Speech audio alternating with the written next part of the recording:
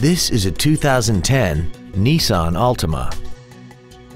This car has a continuously variable transmission and an inline four-cylinder engine.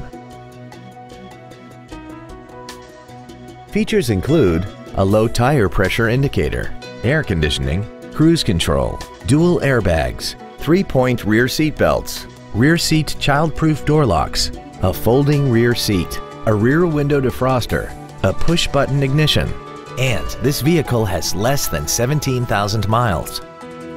With an EPA estimated rating of 32 miles per gallon on the highway, more money will stay in your pocket rather than pour into the fuel tank. Contact us today and schedule your opportunity to see this vehicle in person. Springfield Acura is located at 243 Route 22 East in Springfield. As we turn customers into lifetime friends, our goal is to continue to strive in exceeding your expectations to ensure that you'll return for future visits.